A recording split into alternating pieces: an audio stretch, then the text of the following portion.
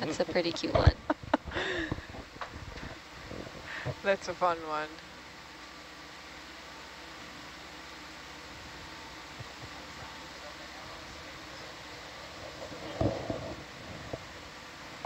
But yeah, thanks all our thanks to all our viewers for your interest in these massive sponges. It's a pretty um, unique aspect of this dive we've done so far. Hmm? This one. This one was simple.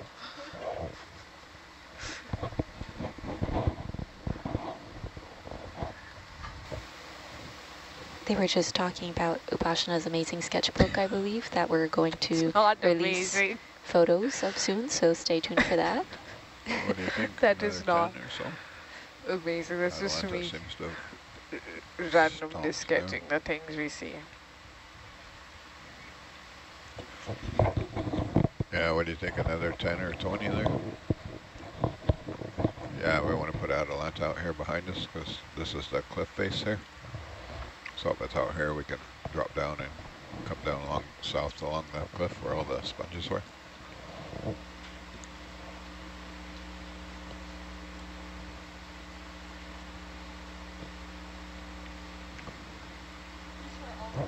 Well, we are. We're going to put Atalanta out here behind Herc, and then we're going to go to the south. Uh, let's try 10 and see what happens. I think 20 might be too far away, but roger. I think it's still swinging a little bit, so.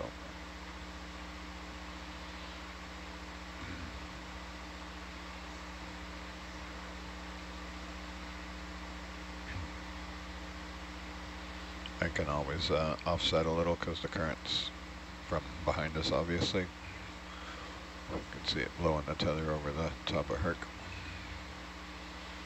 So I'll probably offset. But if we have Atalanta out in the deep water, we can drop down the cliff face.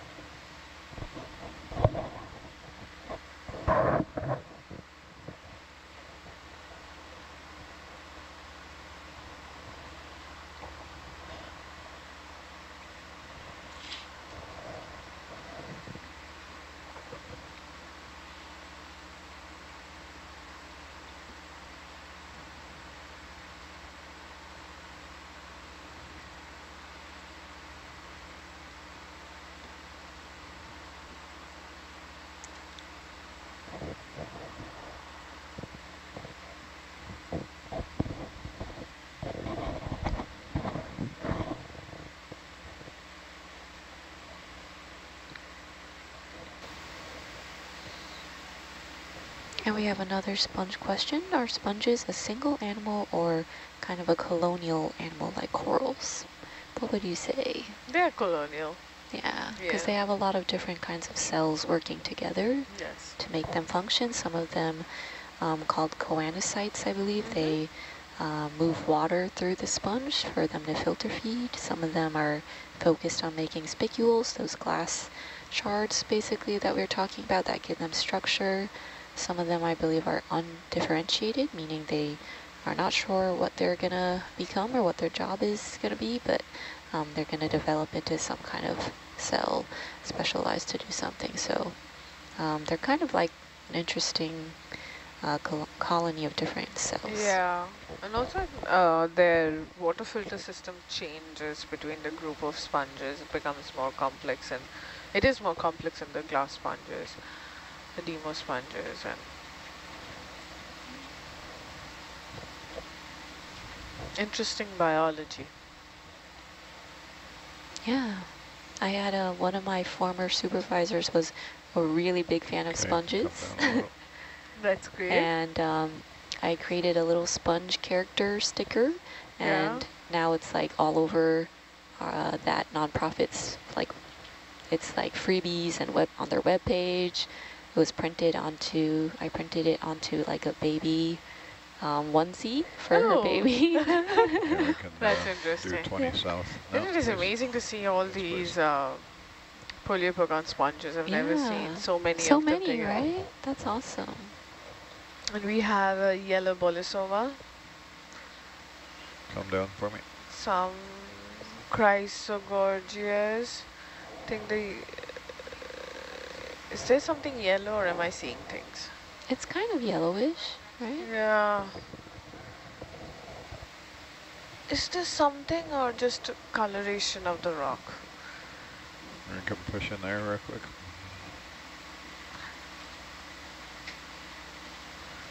Oh, it's just coloration of the rock. Sorry. Okay, go in. Thank you. There's so many chrysogorgias. Uh, look up a bit for me with the camera. Perfect, thanks.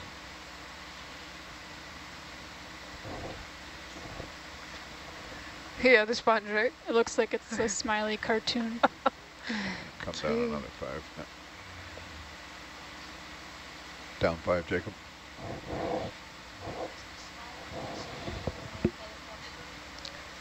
The small ones, I am not sure. There can be. I mean, I don't know how they look when they're smaller. We have a comment from Tripp Middle School in Maine. Thanks for tuning in.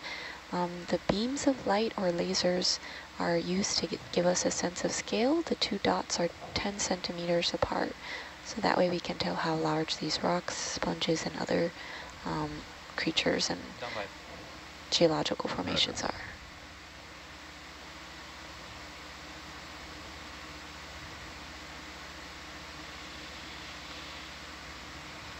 That's a great view from Atalanta too. Wow, yeah, the- all the sponges. I've been looking at that this, yeah, the whole time. It's kind of just Yeah, the, the navigation near this much steeper wall in this current, of course, is, you know, no easy business. It really looks like what you said, Upashana, like Hercules is the conductor and the sponges are the orchestra. Aw. yeah, that's nice.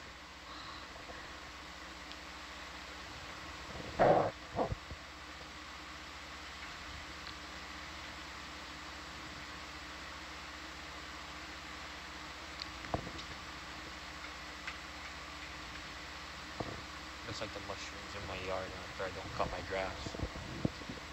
What's that? Looks like the mushrooms that grow in my yard after it rains heavy and then they'll cut my grass. Oh, You eat cute. them? No. I think in general it's good to not just eat mushrooms. You're not sure what they are. Mushroom hunting in Oregon is a thing. oh, yeah. Have you been mushroom hunting before, Dan? Yeah, Whoa. What do you look for? Mushrooms. I mean, more specifically, like Uh, truffles? I don't know different mushroom types. I don't know either. I go Such with a bad dog. people who know what they're looking at. Ah. Kind of like uh, driving an ROV.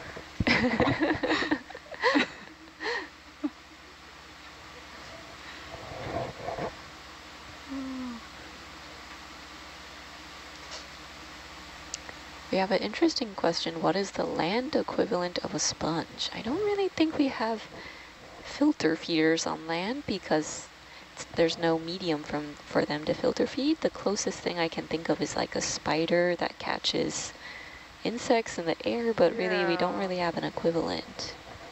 No. Yeah. But that's a very interesting thought. Thanks for sharing that.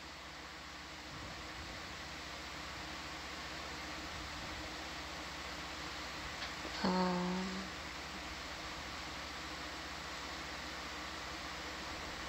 and then maybe for our Hawaii friends um, in our watch, someone's asking about a large organism off the coast of Maui. Um, scientists said the organism was thousands of years old, but they can't recall what it was. Do, are you familiar with anything like that? Jake and I both It's just looked at each other and shrugged, shrugged our shoulders. Look down a bit. I've A never big heard organism about that. off of Maui. Uh, Molokai? I don't know. Yeah, I don't know.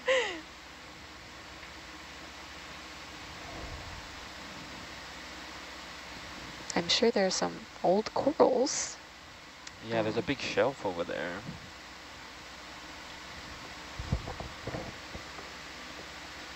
Roger. Thank you.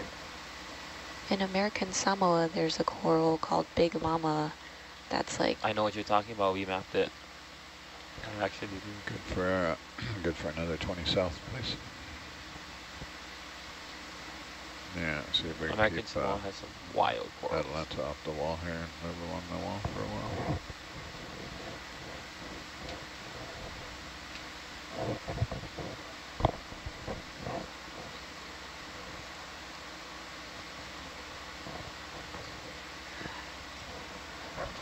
Do you want to zoom on that one?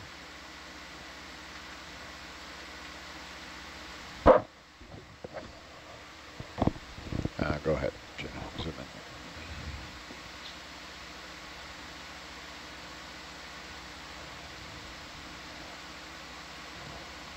Another one of our primnoids? Tira? What do you say? I think so. Yeah, I think it's one of our primnoid fans that we have been seeing. Can you hear?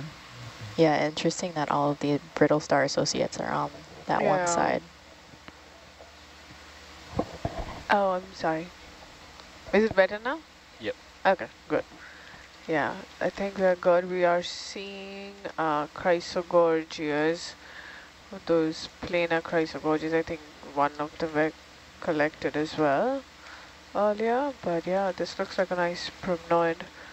Probably the genus Narella. I'm not sure how exactly the different variations of the genus, but I think this is what it looked like when we were checking last time. So I have a question that I've seen a few times. You see some of the little specks coming off? Yeah. Are those part of, No, probably not. I think those are maybe small mysids or something that's so it's not like pro propagating? No, I don't think so. Yeah, if you can look at that, it looks like they're swimming around. Yeah. Yeah. Mhm. So, So like an amphipod or a small, small shrimp. Yeah, because they're not like floating away from the coral. That's great. Thank you so much. Okay. I think go there's away, a- thanks. There's a teeny little squat lobster on there. Uh, it can be on the uh. They're mostly associated with, uh, most of the times they're associated with uh, squat lobsters of the genus I know the name of, but every time I have to look up.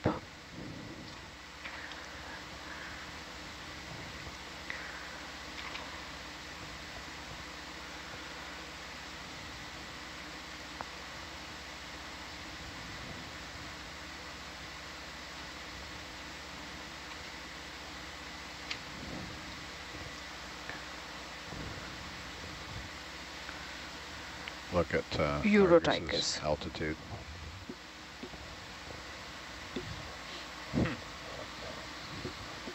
Which one is it? Dealer's choice.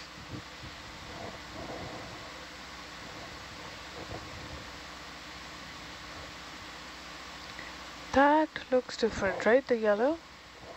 Uh, can we have a quick zoom on this one? Sure.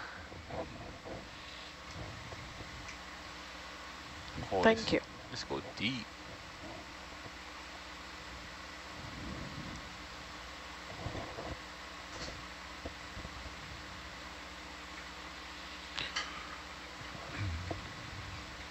Right, push in there. What?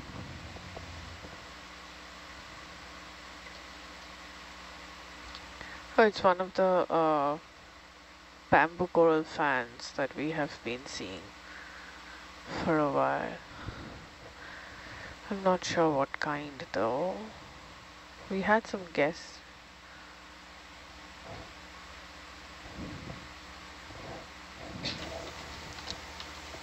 It has a nodal branching that we can see.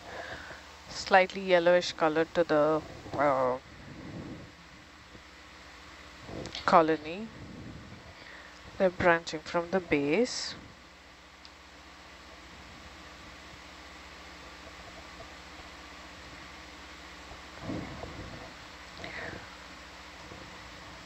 You kind of get you can get like a nice uh, texture view in on the porch cam. Oh, yes. Yeah, it's, I have to lower the screen so that I can always see that. Yeah, so that is beautiful.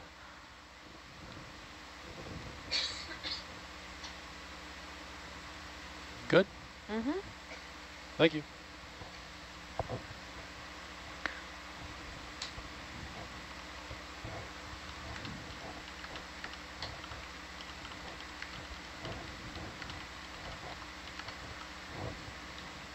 Uh, look down just a little for me.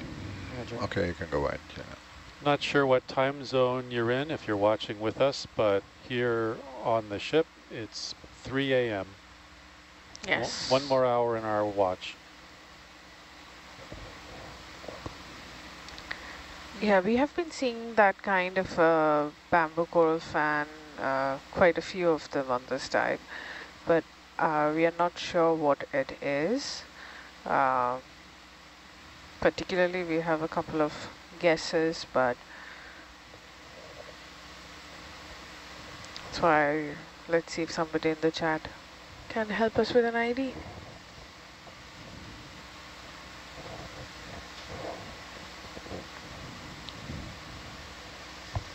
You know how we were seeing all these sponges together and then earlier like all this stuff on one side of a really large boulder? Yes. It made me kind of think of um, gregarious settlement. yes. So Yeah. um, if you're unfamiliar with that term, for our viewers, basically Not yet. Um, we'll drop down for a while.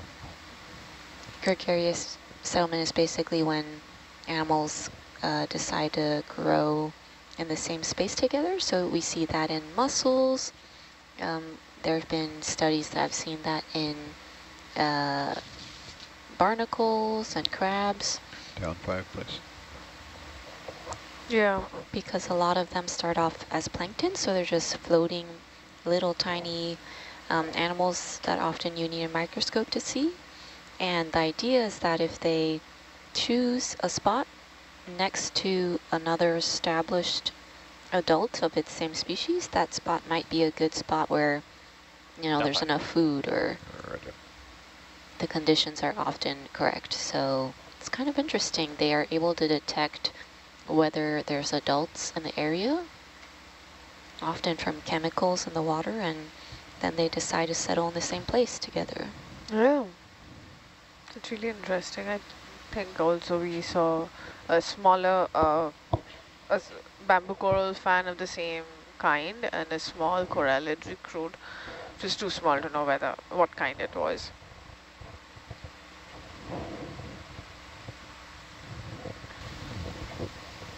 I can get closer. I'm five meters away there.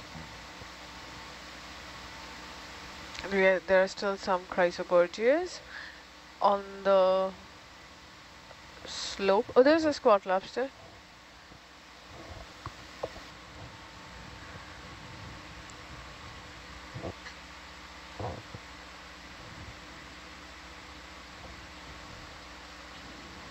It's uh, again the Pleurogorgia in the family Chrysogorgiid.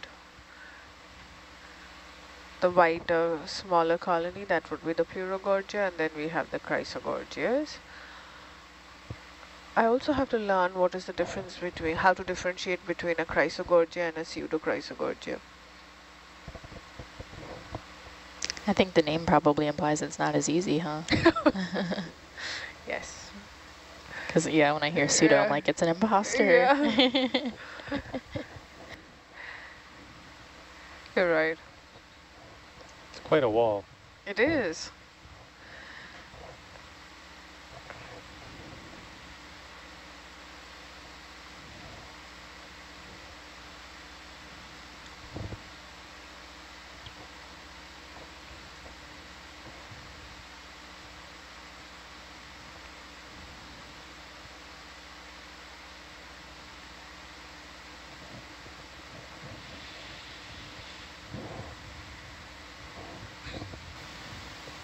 In response to your 3 a.m. comment, we got a we got a viewer that would like to say hi, Team Caffeine. Should we rename ourselves from Dead Man's Watch to Team Caffeine? Um, caffeine lasts only so long. and then we need to go to sleep after, so Yeah. Can Yeah. only have so much caffeine when you gotta sit in one spot for four hours. yeah. I've definitely been using caffeine to help, though, but usually in the mornings. Mm-hmm. Yeah. Yeah, a lot of us are not there for the, the, the breakfast in the galley. Right. Oh yeah. After this no. watch, we'll sleep right through that. I'm, Okay. I'm really hungry. I think this is the hungriest I've been during the watch. Same, and I ate a sandwich before. It's Back three to the o'clock, dim- cookie time. Back to the dim sum topic. Please no. If May, only. Maysum is a good place. What is it called? Maysum. Mesa? Maysum in Chinatown. Or Honolulu. yummy dim sum in uh, Ala Moana. But Well, if you we want could, the uh, continue down, or we could uh, come back up. A couple of nice Bolosoma sponges in the neon green color. It's, it's going to keep going down, so at some point we're going to need to go up. Asking the group. It's like Yeah, 90 meters. Yeah, we need to go up, I think. What's that? I think we should uh, Yeah. Go we, up. yeah, we'll need to go up, yeah. If we uh, keep going down, I'll have to step to the west again. But Yeah. it's starting to come Yeah. in. Let's find a good spot to go back up here. You can look to your right a little. And this looks like a good spot. Some geology action here. I know. That's really... I don't know how to describe that. Geology action, that's the way, that's... It's almost like steps, but it's it's not. Some little uh, promontory here. So Wow. Look how steep it is. You can tell how steep it is on my on Atalanta camera. It's wild. Wow. look And yeah, close you are. Oh, uh, the return on the, the near the danger zone. Oh Yeah. yeah. That look is at the- look at the interesting. Is this a dike? You know, that that's what comes to my mind, but I'm not a geologist. You're the geologist for our watch, so it is a dike now. You know, the the dikes are the internal plumbing, the internal channels of magma within the seamount. And when things collapse, you know, you can see inside Coming up now. You can, the ancient Roger, seamount. you up. yeah, should get you bringing away from it. When we see pillars like that that have different um, weathering, different structure, you know, inside these these huge flows, it, it, it makes me think we're looking at an internal structure of the seamount. But again, I'm not um, not a geologist. Yeah, this is a very interesting feature, and what is baffling is how the corals are rising, uh, have grown uh, perpendicular to this Yeah. structure. I just saw that on the right. Yeah, I, m- I missed that. yeah. So they're basically perpendicular to the this rock face, and at one point they were extending on either side, and uh, we can see a bunch of uh, several colonies of uh, Pleurogorgia. There were some of those bamboo coral fans, uh, some bamboo whips, probably Lepidisis. Um, we are not seeing so many of these those poliopogon sponges because I believe that Okay, because come of their down a bit. Yeah, yeah, yeah. dimensions, it is difficult for it them to grow at a uh, 90 degree angle like this to the surface and also parallel to the base. Uh, but we are definitely seeing more of the uh, octocoral give me, uh, fans, 2240, please. Yes, please. some chrysogorgias as well. Hmm. Maybe around here, do you think? Well, no, let's wait for Niskin. Um, yeah, I would wait. We haven't You can say, passed, yeah, yeah. waypoint seven much. I just looked at that and that's when stop. Yeah. I can see why you would think that though with Mhm. this change. Yeah. But I guess it's not very high diversity. No, it's not. It's different, but not Different, high. yeah. Yeah. But yes, I said that and I looked at the HYPACK and I realized that I uh, realize our position with respect to the ship. Yeah, there's a, there's a small anthomastus or pseudoanthomastus. I can see a blob of red. Uh, uh, that is a big sponge. It's one of the farreids, I would believe. The Processing. I think it actually is a different, um, I was looking through- different? Yeah. 'cause- oh, okay. Let me see if I can find it again. Um, There's a crinoid on a small bamboo coral whip nice coloration.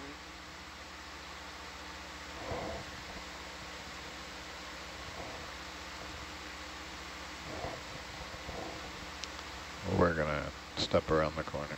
There's enough. Uh, uh, yeah, I think it is this. Ooh, low wall. Sceptrulophora. Okay. Sceptrulophora. Okay. One of these. Yeah. Yes, the bottom, the second one. From this one? No, one after that. Yes, that looks kind of. Those crinoids tend to do that, don't they? They, they like those whips.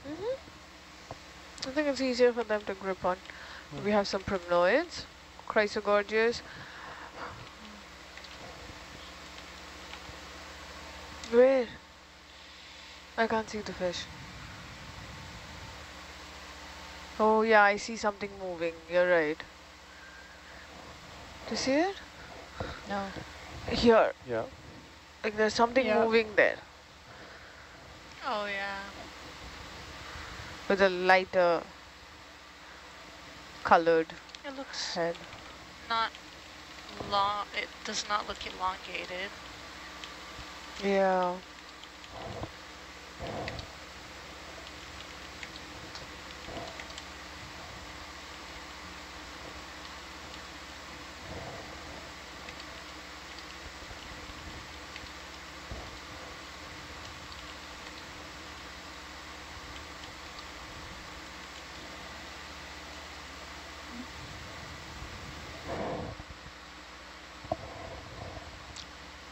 Stratoblitus.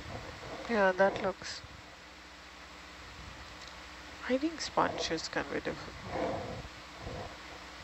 Yep. What was the what was the family of that? Uh, the the one that you uh, ID'd it as? Yeah. Stratopleura. Wait.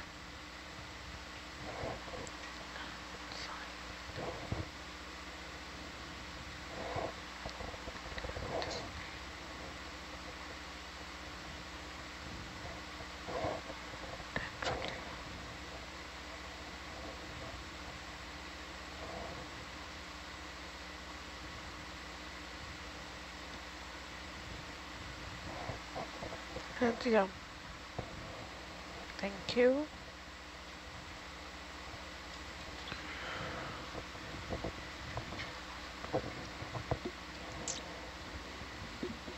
We're coming up? No. Nope. Uh, can you move another 10, 270, please? 10, Roger. 2, 7, 0. Uh, is that right? Oh, hold on, hold on. Uh, oh, it should be right. Yeah, I think that's right. Yep, 270, 10, 270. now we're going to step around the corner here. Okay, thanks. You can uh, zoom in there while you're waiting for the ship to move.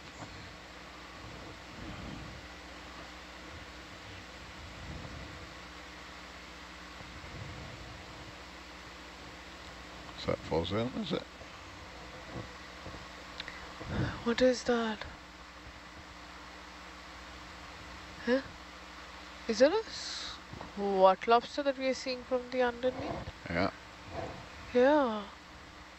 That's really cool. And it's amazing how the Does it also have hydroids growing yeah on it? yeah yeah yeah. Oh. It has like hi- oh the the squat lobster. On its legs? It looks like I it. am not sure. Maybe Yeah, but something's on their legs. Yeah. This is not good personal hygiene. There's um, definitely hydroids growing on the bamboo coral, Huh. a lot of them, and yeah, sometimes they can have hydroids yeah, even on their growing antennae, on it looks yeah. like they're. Probably it hasn't molted in a long time, Mm. Uh, and it's nearing Come its down a molting couple stage. meters. Just a couple of meters.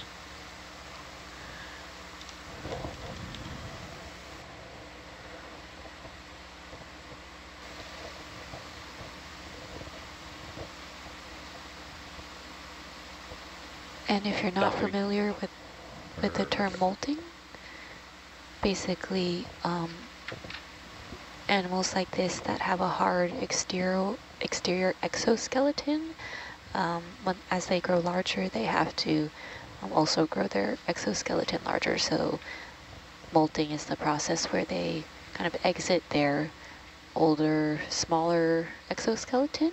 They come out and then they're a little soft and squishy at that point, and then it hardens into a larger exoskeleton.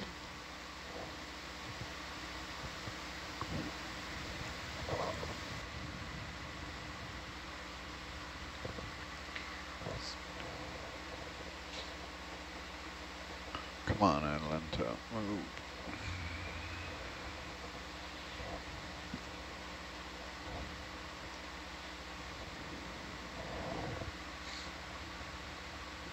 That's a killer picture. and It just looks like Perk is just perched. Cliff parking. But you're in a tight spot. Hercules, uh, free solo.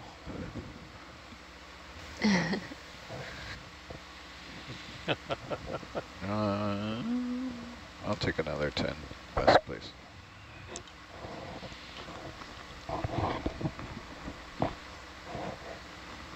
There are tiny mysid shrimps swimming around. Right. Okay, can go wide, thanks.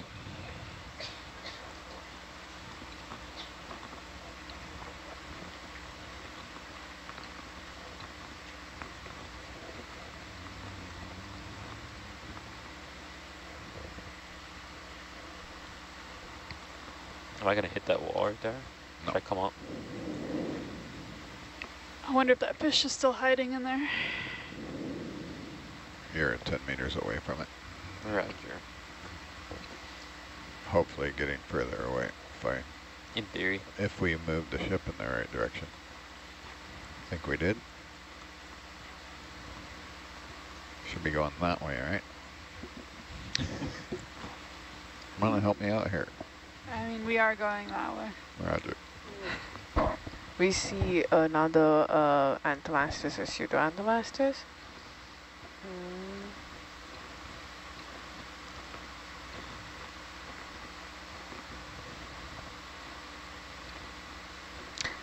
The view Like from. Atalanta is also very beautiful.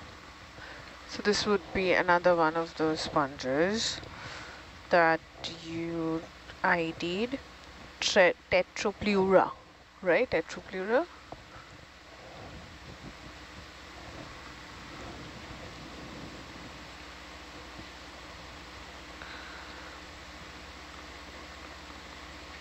How about that Niskin now?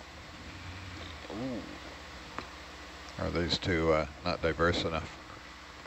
I think we're waiting on the Niskin. Is that right, Taylor Ann?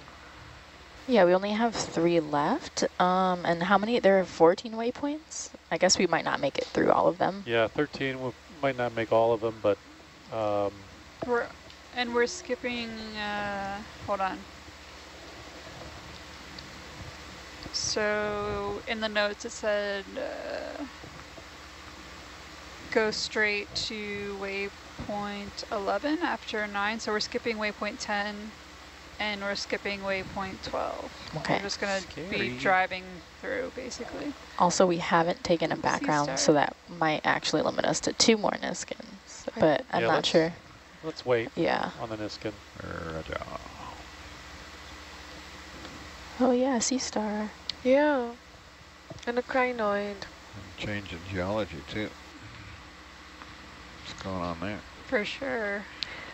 Different flows. Oh, uh, so these ones are related to the farreids sponges because I think I'll have to open one of them. That is why they look this similar.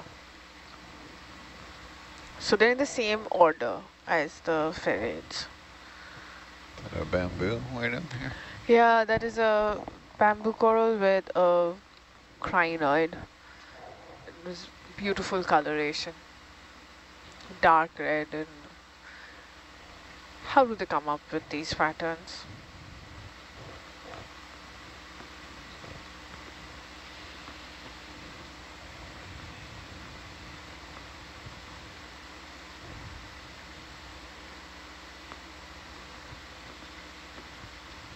It's funny, the uh, diversity changed with the geology change there. Yeah, it's so drastic. We have a Iridogorgia, a Chrysogorgia, what looks like a primnoid and a small coralliid recruit.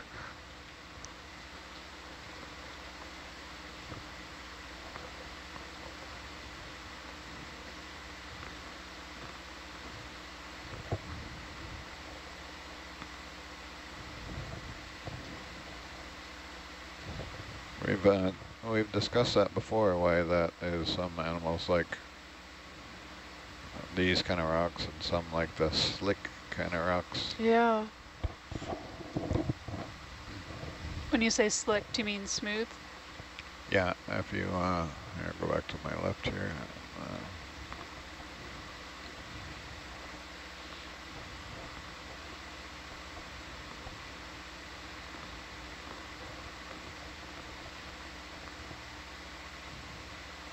so they're kind of black, shiny or smooth. Uh, As all the uh, whatever the white ones are. yeah. Uh, no little bushy ones. And then it changes. Uh, right behind you. Roger.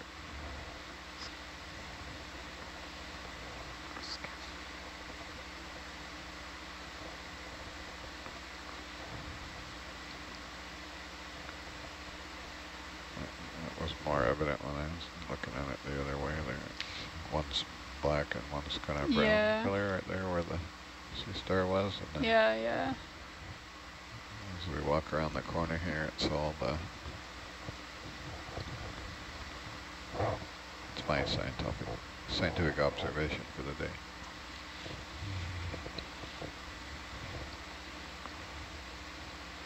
Not very scientific, I know, but what can I say? Still an observation. And we're on a science chat, so it counts.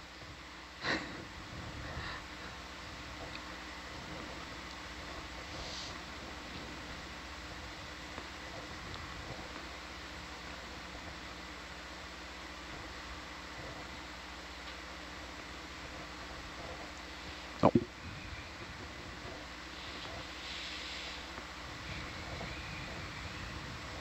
Were you here when we did 20 turns? What? Or four Oh, yeah, yeah, yeah, yeah, yeah.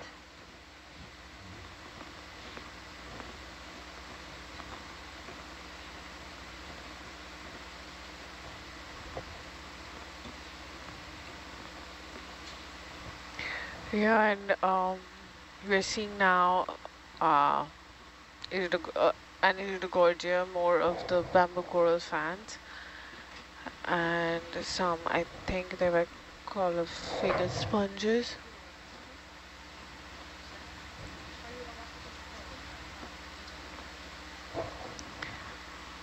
And another of the Pleurogorgias, and yeah, exactly, you're, like we, we were discussing the diversity changes with the mm-hmm. surface, the geology, the direction, and the part of a structure that we are seeing. I wonder if the porosity of the rock surface has, you know, they, some, some Yeah. stick better than others when they land. So. Uh, That is absolutely logical. That can have a great effect, but that I am not sure if people have studied that. But uh, we know so little about many of the mechanisms of how these corals attach to their surfaces that it's still a long way before we can have uh, we can have comprehensive answers. But that definitely would matter because each of these groups have different uh, mechanisms of uh, attaching themselves to the surfaces and also they are basically at a 90 degree angle to the vertical wall. Yeah. How big are they when their polyps took place? Is it microscopic? Or? Yes, yes. And I think the plate, the the fan Yeah, structure helps in uh, keeping their position because it increases the surface area and reduces the pressure on the all over the entire colony, whereas for a sponge, because it doesn't have those branches and spaces in between, the pressure on each point would be much, the pressure on the overall sponge would be much higher. I uh, did a project once, and this is not deep water, but again, shallow water with Yeah. some snail larvae. So Yeah. snails also like corals, they have a microscopic larvae stage. And once the snails are ready to go through metamorphosis and turn into, um, from the swimming little babies into like adult snails crawling around, we put a bunch of them in um, cups with different substrates and textures as well Yeah. and they were totally um, like the ones in certain sub above certain substrates would settle faster than others. So yes. I think that it's amazing the sensory capabilities they have for something like texture as well, and de deciding like, okay, a now little it's time to attach or or not. Yeah, and I think they have done similar studies on shallow water coral recruit recruitment as well. right? Uh, Yeah. We just it's hard to study deep sea coral recruitment. But then Uh, again, the I mean, they definitely have preferences, Right. Yes. Yeah. but how those preferences work in the deep sea, we I don't think we know enough about that Yeah. because the surfaces, the textures, the geology are very Right, different when it comes to right. shallow. And, But it might play a factor. oh yeah, they definitely do. I was just looking up if, because we're talking about the the rocks that Mhm. were darker and smoother and versus the the other ones. 'Cause I know like obsidian is igneous. I don't know if there's like a version of Yeah. that underwater. I don't Yeah. think it can form. I tried to look it up briefly and I I need to pay attention to what's going on so I can't read all the articles, but um, I think it's a question we'll ask the geologists. Yeah. Yeah. Uh, let's do another 240, please. Move us away from the wall just a little bit. Two, four, zero, ten or 20? 10 meters should do it.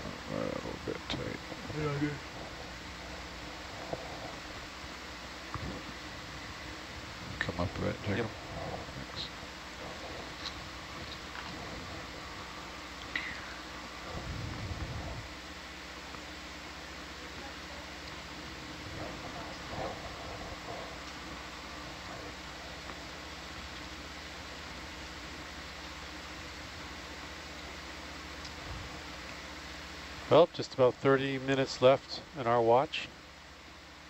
Have a time to head back up to the ridge, you think? Yeah, we're coming up now. Roger, thanks.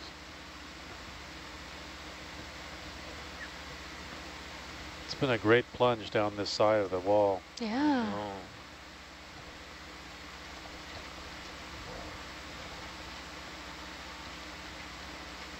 Thank you, front row, for all your uh, amazing maneuvering and navigating and the really great zooms and shots. It's really cool to see. Yeah, and also just agreeing to all the adventures and ideas we throw out from the back row. I was That pretty let's look at this, let's look at that. I felt like those glass sponges were like Come a up a siren bit. song Mhm. calling us to go over the ridge. I'm telling you, it's an orchestra of the sponges, and they're also called elephant ear sponges, so they have musical ears. They have an ear for music. But that also makes me hungry because there's a fair food called elephant ears. That's just like Oh. fried dough with cinnamon and sugar. Oh, Like a funnel cake? I'm also very, very hungry at this point.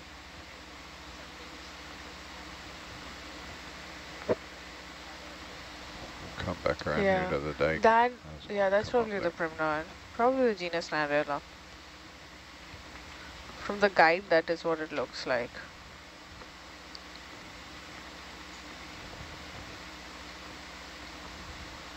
Also, oh, can you hear me? Um, Uh, look left just a little for me. Oh, wait, Yeah, no, you- can you just hear a me? little more on the cliff. Roger. More dramatic. More dramatic.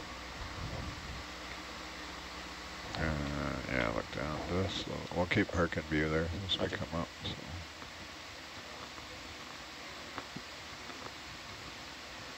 Yeah, it looks like some of the other watches explored the other side of the ridge. Oh, yeah? Wow. But I think we're the only ones that went down this side.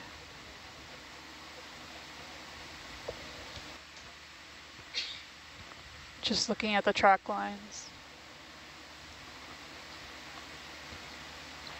oh, yeah, it looks kind of almost like a zigzag in some areas. It looks like a step, right? At some points it's with the blocks.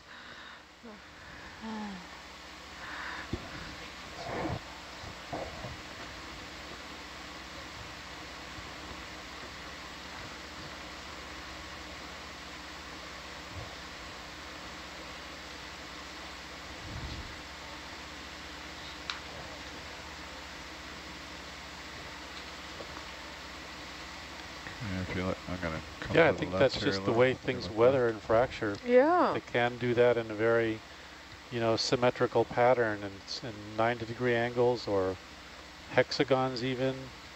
And, uh, you know, there have been hexag hexagonal pillars that have weathered out that are called different things. I think there are some in the British Isles. Yes, yes, them, right. uh, you know, different names and there are shapes under the water. I think there was uh, kind of a theory about the Bimini Road. Folks thought it was some Mhm. kind of road underwater, but it's much more natural fracturing and pattern. Yeah. Yes, that's a euplectellid.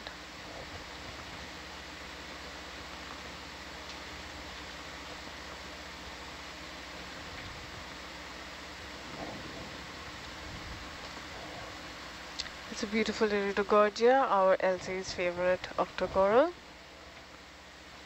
and Elsa is sitting in the data logger seat. She's doing wonderful. Very proud. Elsie.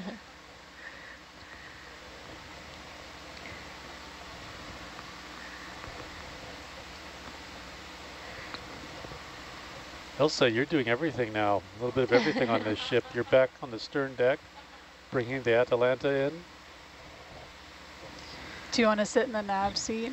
Oh my goodness. Um, I feel like I'm doing the jobs where I have like a little bit of knowledge of them, but not a lot. Then you know, can the, pick the one you saying like. jack of all trades, but master of none. Nah, nah. No, you, you're that's just not true. you're just testing the waters. Yeah, Great to see you out there on you're the learning deck. new things.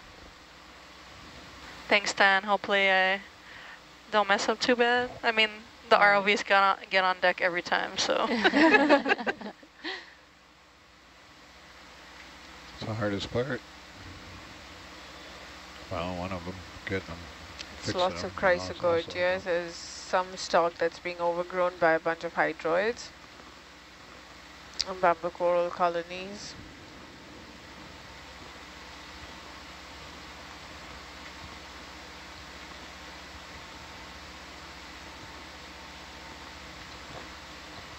Is there a particular thing you've done that has been your favorite or more, most interesting so far on the ship, Elsie?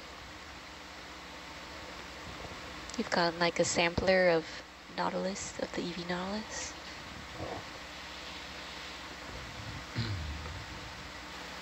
Um, uh, I mean, it's hard to say. towards I think they're all. please.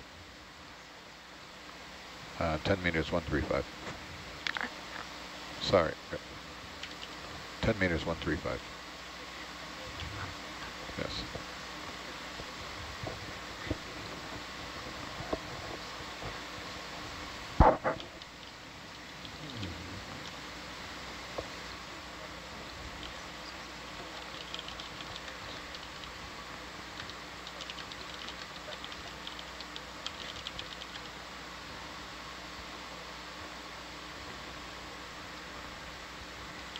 Sorry guys, just, we're getting a little far away here. I don't want to get pulled off.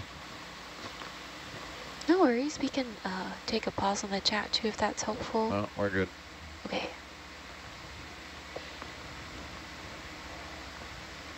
Thanks for letting us know.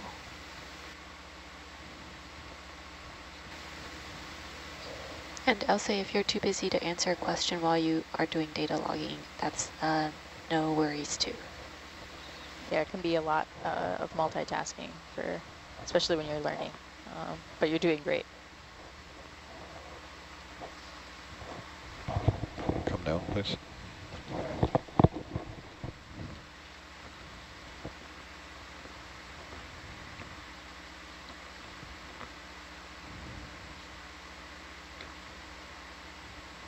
We don't need the big delta anymore. We're far enough away from each other.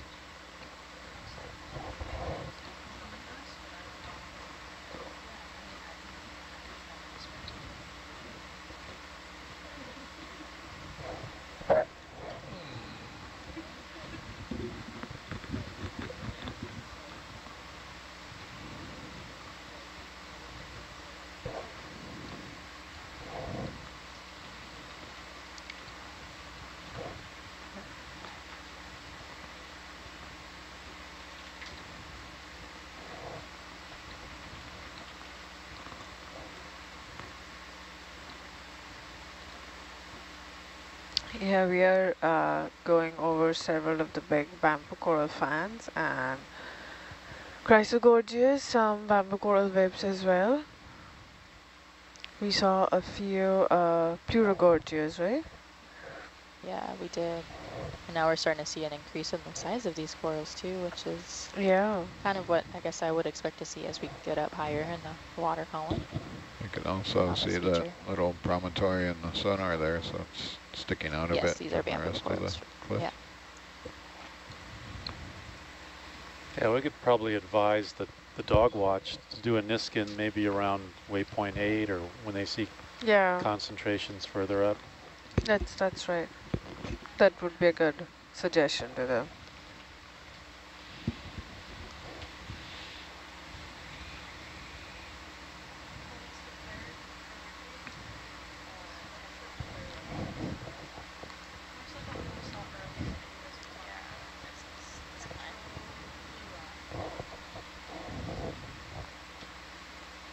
There's a small shrimp that's swimming by the uh, bamboo coral fan. I saw that. Yeah. It's coming closer. Hi, shrimp. Bye, shrimp. Shrimpy.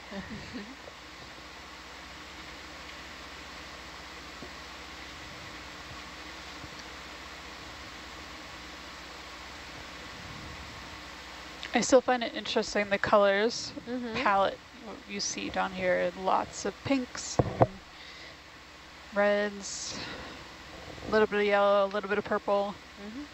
And interestingly, that uh, polychaete uh, that we saw on the sea star today, those were greens, and tho- those were iridescent greens. They looked like boogers. Oh. I'm sorry I had to say it. And yeah, there's been a few, a few antomasters.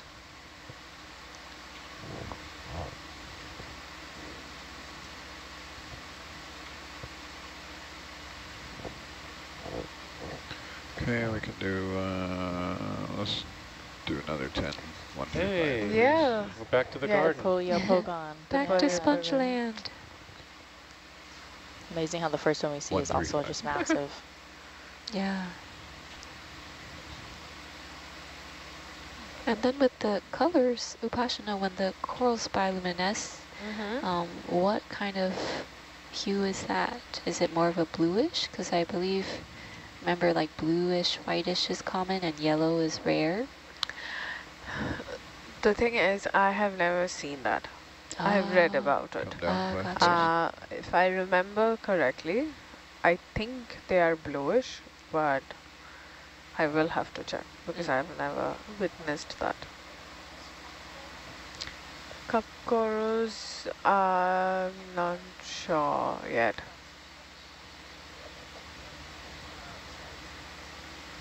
That's huge. That is huge. Down five.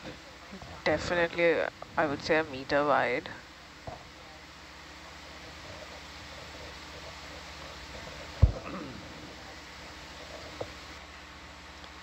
Yeah, quite an exclusive community. Yeah. I mean, they're all of this certain age, it seems. Uh, We haven't seen small ones. Yes, I think we saw some that were slightly smaller, but not significantly smaller. So is that the planar Chrysogorgia right there that we collected earlier? I did not Next see which the one they collected, but I think it is the Yeah.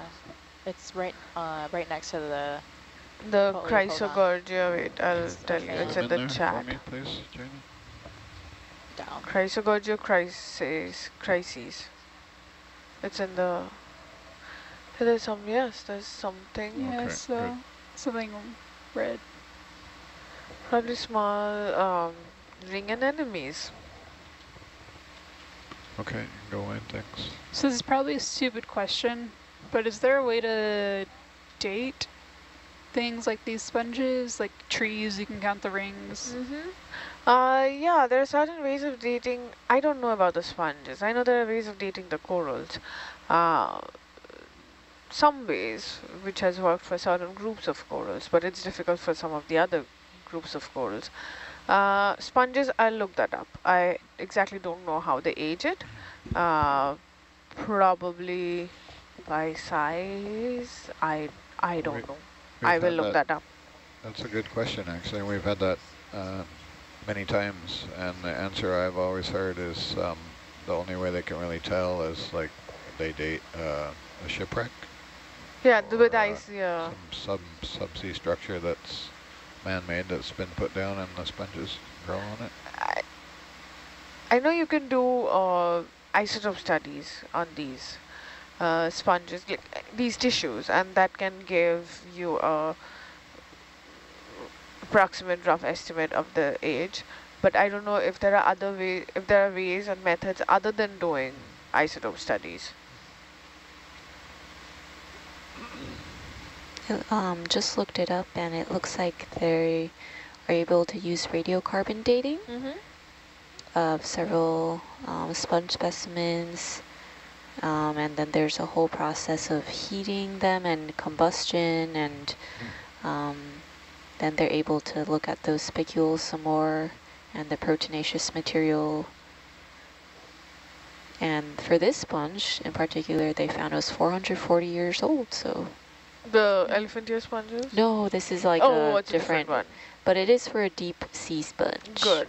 Good. Though, yeah. So this article is a simple radio, a simple radiocarbon dating method for determining the age and growth rate of deep sea sponges. Yeah. I know that the uh, diameter for the coral skeletons have been used. Uh, there are several other ways. And obviously isotope studies, but I wish we had easier methods than isotope studies.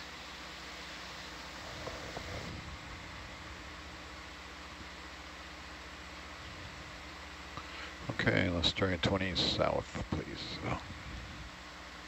Yes, ma'am.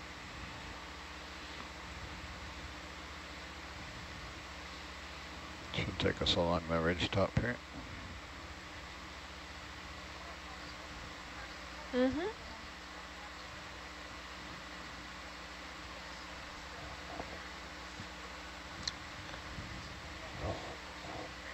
Yeah.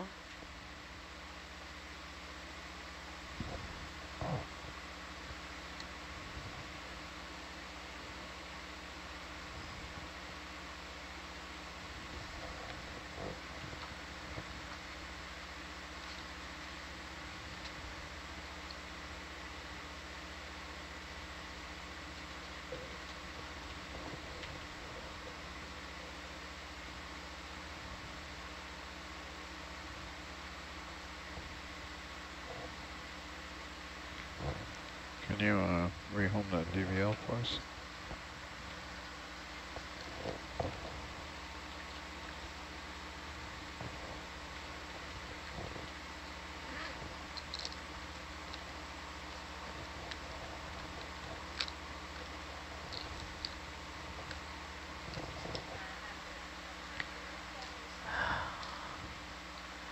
Yes, that fan kind of looks different a bit.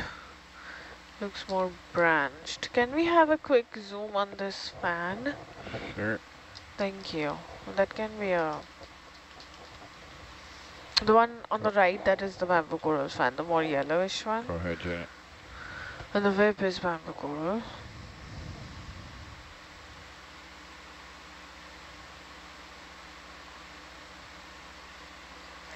That's the planar chrysogorgia. Yeah, I think She so. wants It's just very the Yeah. Line large. in the back. Yeah. It has a very dainty and fine skeleton. I and would say one of polyps. the Throw of bamboo coral in your way. Sorry, I'll come around a bit.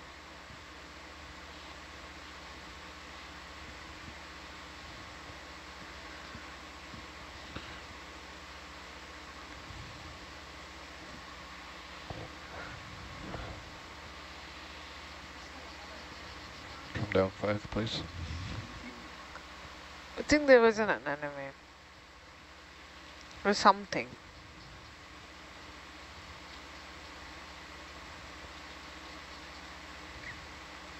Uh, go wide. I I backed way out. Want to come around. See if I got enough leash to come around here. Hmm. Well, I think it's been a great watch. You I should. mean, Yeah. Down five. We, we saw diversity of the undersea topography. Come down Mhm. another five for. Roger. I, I hope we collected an interesting rock for Val. Yeah.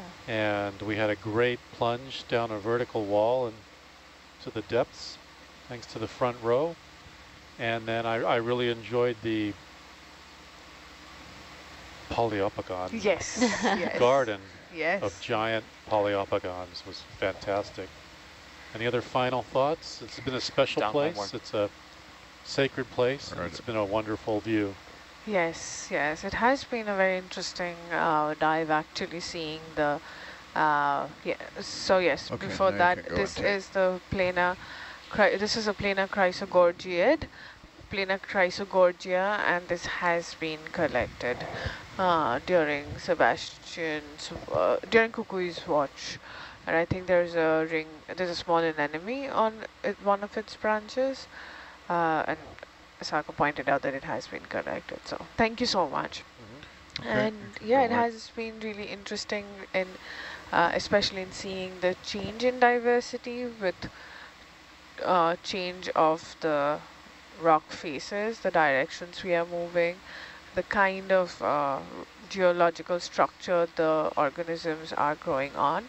Overall, we have seen quite a large diversity. Maybe the density wasn't really high, but we are also comparing to some of the seamounts that had a very high diversity. So yes, this as usual has been very exciting and it's almost time for our watch change in Yep. the next five, ten minutes. Yep. Any others? Final thoughts? Just thankful for our viewers tuning in and sharing your love for sponges. Um, always amazed to see our global audience from Switzerland, Spain, Finland, Hungary, Israel, Italy, Norway, Philippines, Germany, Australia, Canada, the UK, and um, Netherlands, and the US. Uh, thank you for tuning in and exploring with us. Video swap. All right. See ya. Thank you, Jaina. Thank you. And I'm going to hop off uh, a little early to go call into a classroom as well. So um, thank you, everyone, and have a good night, and um, we'll see you next time. Thanks, Thank Kara. you so Thanks, much, Carol. Kara. Yeah, we're starting our watch change. Thank you, front row, for a great dive. And Our pleasure. thank It's you, middle Dan. watch, dead man's watch, for another good one. Thank you, Hans, for your geological insights. Yeah, thanks, Hans. And a budding sponge specialist. yes. Just on the poliopogon. Yeah, there's another coralliid. yeah, it almost looks like a heart. Yeah. Heart-shaped. Oh, Look at that, Hans. One more for you before Yeah. you go. Oh, lovely. Paint it orange, put on some cheese dust. We'll be good. Sounds like they need to restock the Cheetos. I didn't even know there were Cheetos. Yeah, it was like I- the very beginning lot. of the yeah. expedition, Please, yeah. I try to avoid them usually. Please don't. Please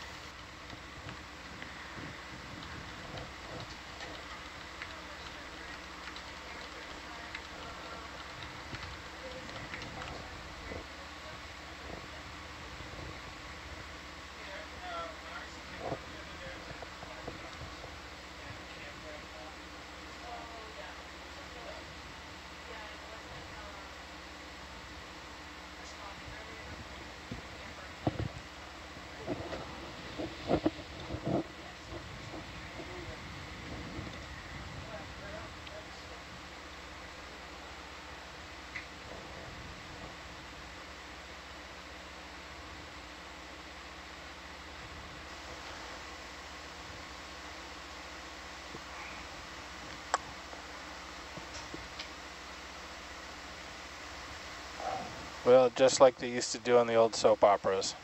Now playing the role of Jaina, Ed McNichol.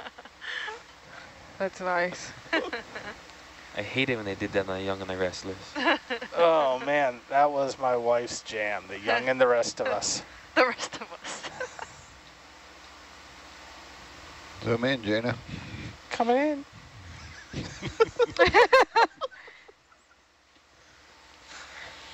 About as high as it goes. Don't ask for I don't any believe more. it. Wow. I'm gonna get Jaina how to teach you how to zoom and focus at the same time. That is beautiful. That is a beautiful zoom. On you a can leave it zoomed in. We're gonna stay here for watch change. It's one of her best. One of our best. I'll go all the way in and I'll make it even more beautiful. Oh, look at that. Oh, yes. See the details of each polyp. And then I'll rack to the ones in the back. And then forward. Uh, front row signing off. Thank you, everyone. All right, see you, Dana. Thanks, Dan. Welcome. Thank you so much, Dan.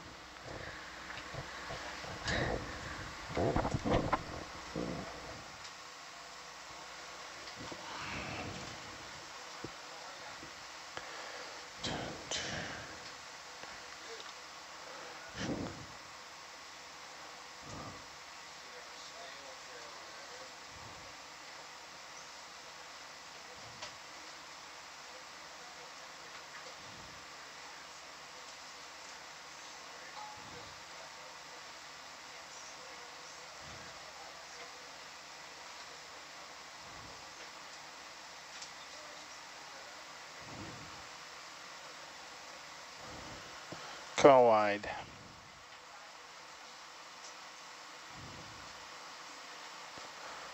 Full, full wide.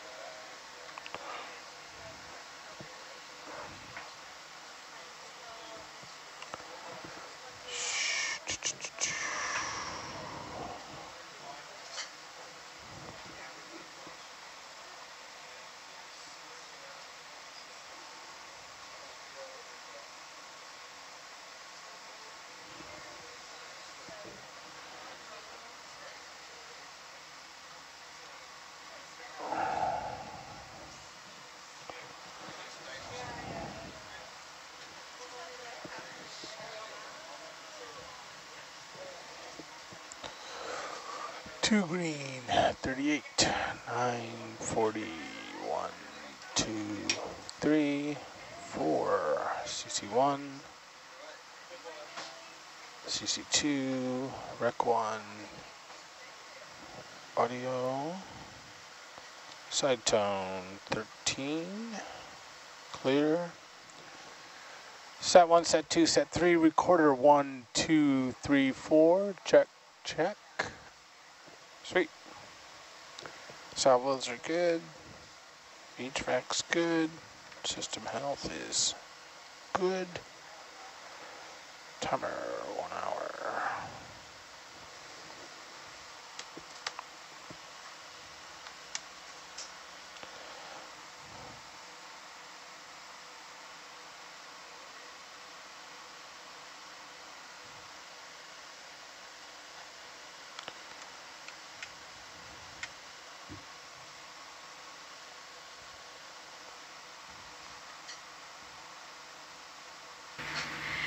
Good morning, everyone.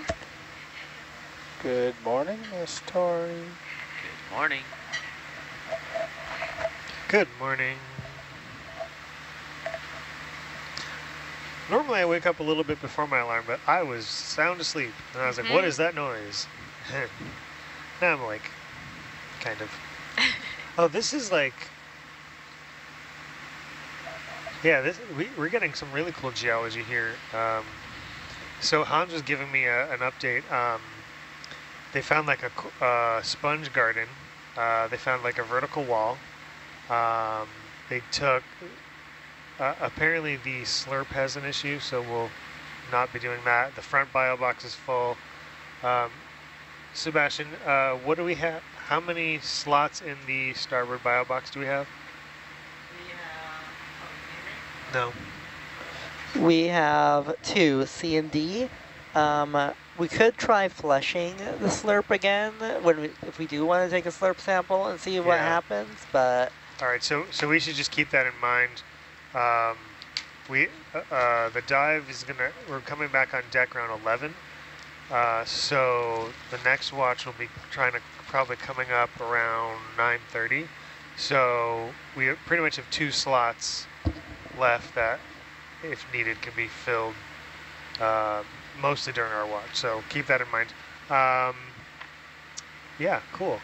So it looks like we're com we're coming, moving south, coming up slope still, on our way to waypoint eight. And it, after waypoint eight, it looks like the geog geography and geology um, kind of widen out into more of a summit, uh, which is kind of cool. So there's a ridge line that they initially went up, wanted to go up, but then when we remapped it, um, they decided that they wanted to move that uh, over to the east. So we're going to go a different way, to a different waypoint 10. There's more of a rise there.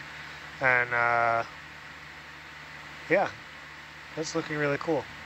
From Look- the uh, from the, the the zoomed out version of the seamount on the map, it didn't look like we were going to be getting anything like this, but that's uh, that's cool to see. Sorry, go ahead. uh, it's like, I was just saying it looks a little bit like a shoulder, so we could see a higher density Yeah. there. Uh, once you get yeah, like waypoint nine area. Yeah. Yeah. So that's cool. All right. Uh, so in terms of navigation, would you guys kind of like to try to walk along the edge at the top of this cliff, or? Yeah. Yeah, uh, as, as close as possible. I think that makes a lot of sense. Um, yeah, we can kind of do the west side as we have been doing, if if able.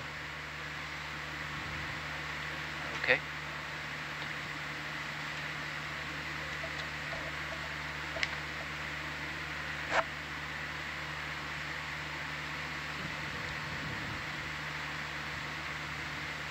What was the uh, issue with the slurp jar? Did something get stuck? A? Yes. Okay. Apparently.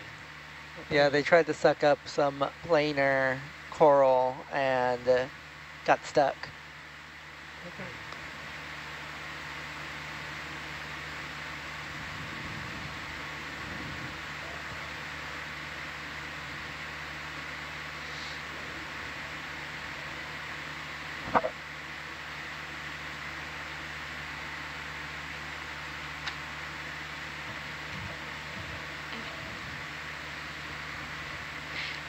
Sebastian, what kind of corals are we looking at in this area?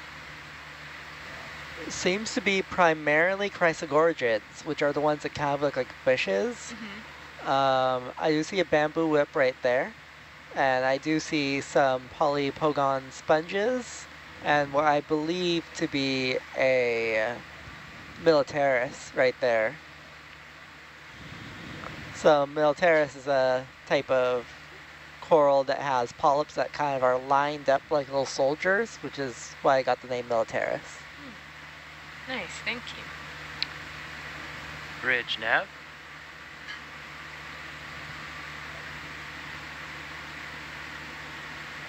Could please do a ship move 20 meters at bearing 130, 0 0.2 knots. Thank you. 130.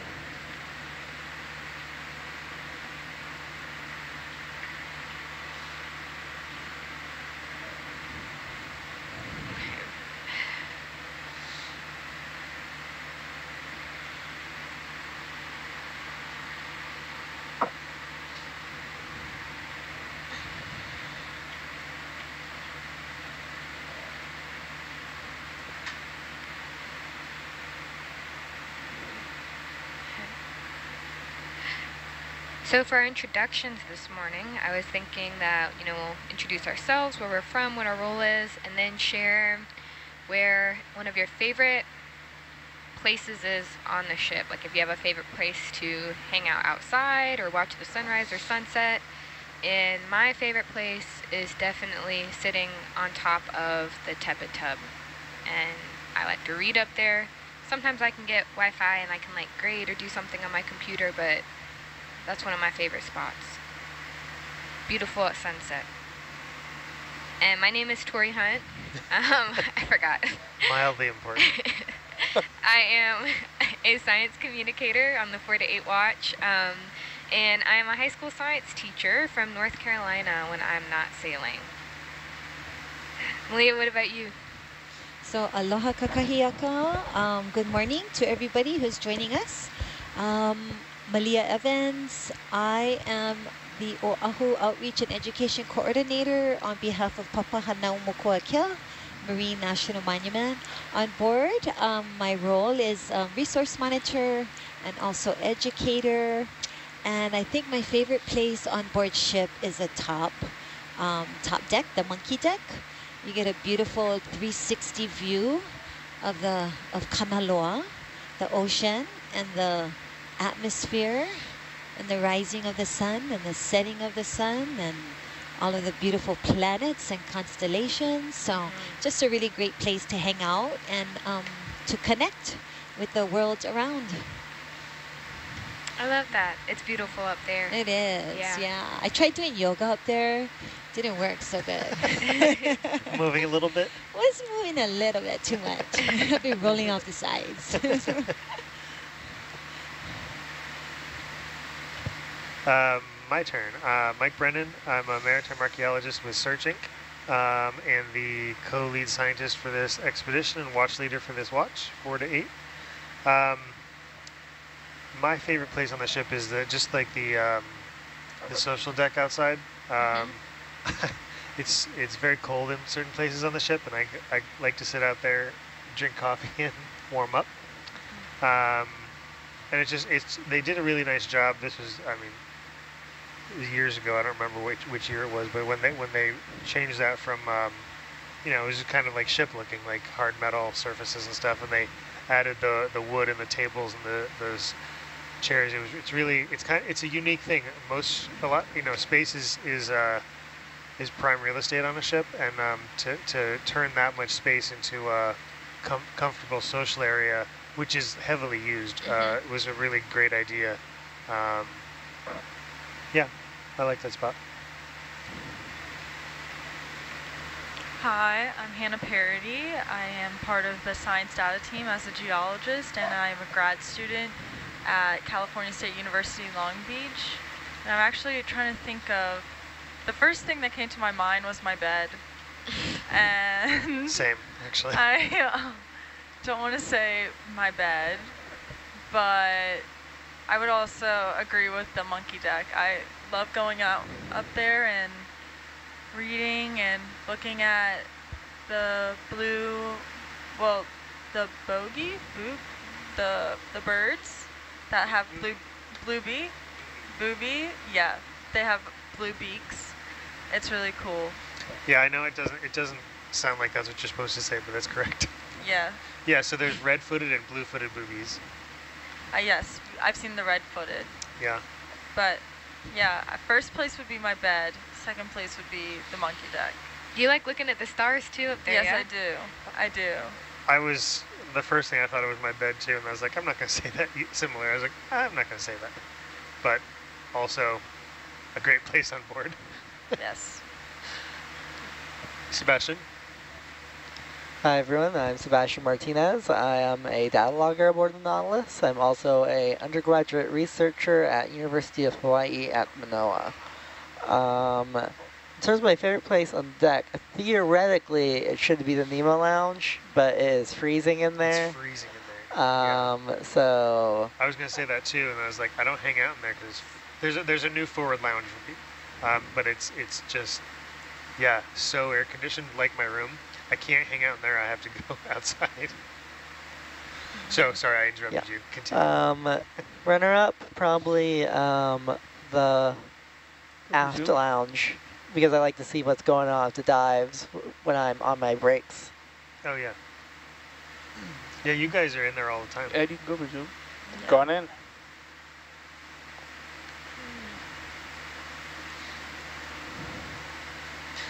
I'm also impressed that you're able to come up with a different question for us every single dive, every single watch. I was thinking the same thing. It's great. That one was on the spot. I like wake up and I think about it all morning. No, it's it's And then I amazing. unmuted and that one just came to me. It's it's been different every single watch. It's uh, very impressive. Looks like there's a shrimp um, inside of the sponge on the right. Just from the angle that I saw, but now I don't see it anymore. But Now these look like sponges. Like you could you could use those in the shower. like they're big loofahs. Yeah, for sure. Most of the ones that we see, I'm just like, eh. But yeah, I can totally see. I'm wondering, these guys, it's really interesting to see these guys like three back to back to back like this. It's very interesting. I don't, I don't think I've seen that so far. Yeah, this one in the middle is is probably not doing so great though. I know. I was thinking the That's why it's same small thing. because it's Bridge blocked from the current from both sides.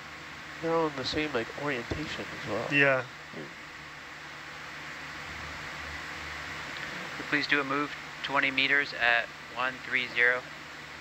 Clearly, it's the middle child. Thank you. Yeah. the forgotten one.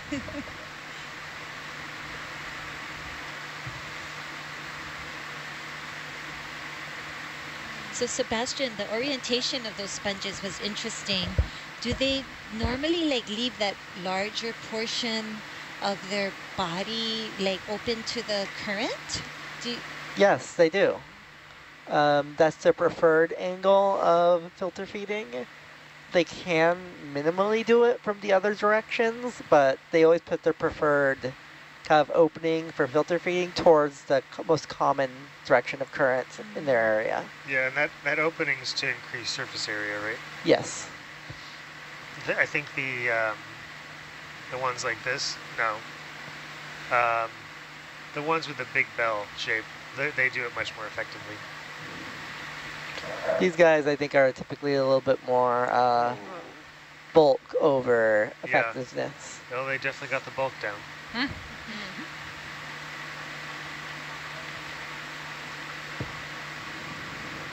We already said that this was coral, right? Um, that might be hydroid. Okay.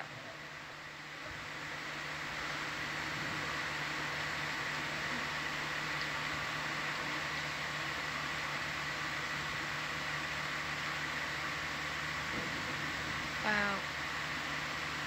This one's huge. Yeah, I can't get the whole thing in the still still camera frame. Whoa. Kupai and Naha. Oh, I did. Yeah. Yes. Kupai and Aha.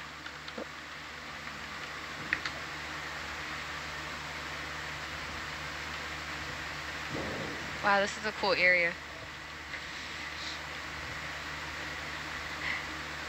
For those at home who are wondering what is kupaya naha, it means like amazing, spectacular. It's that wow. Is that a little fish?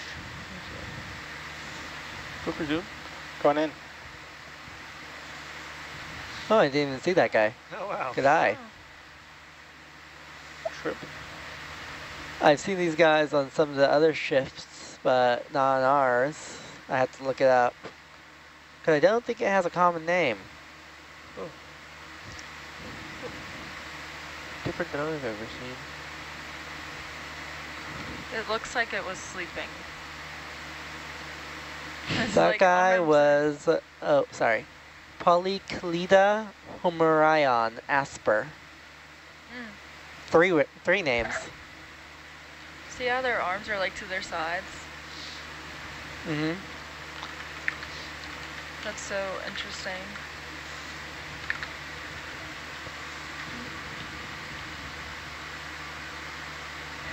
Derek, do you have a favorite place on the ship? Uh, I concur with Malia. Uh, I really enjoy being up on the, the top deck of the ship that we're allowed to go on, which is the monkey deck. Um, so it's basically kind of a nice big square with some benches and uh, it's really nice wood planking and views 360 degrees around. And if you want to get wind in your hair, that's the place to go. Um, just kind of stare out in front of the ocean. It's really nice, especially around the sunset and sunrise. Yeah. Um, oh yeah, the rest of my Yeah. answer is uh, my name is Derek Sowers. I work for Ocean Exploration Trust, um, helping to run mapping and navigation operations, and I'm based out of Durham, New Hampshire. My name's Jake Bonney. I'm the Hercules pilot on this watch. And at home, I'm a graduate student at the University of Rhode Island. I study ocean engineering. And I'd have to agree, my favorite place is definitely the monkey deck. And uh, I get up there at least once a day to read, or if it's calm enough, I will try and do a workout. But like Malia said, it can be a little um, dicey at times. uh, but it's definitely nice to be out in the sun and the wind and uh, get those 360 degree views.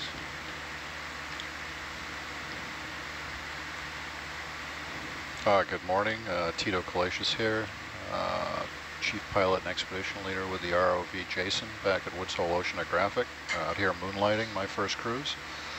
My favorite place on the boat is wherever I sit to have breakfast, especially during this watch.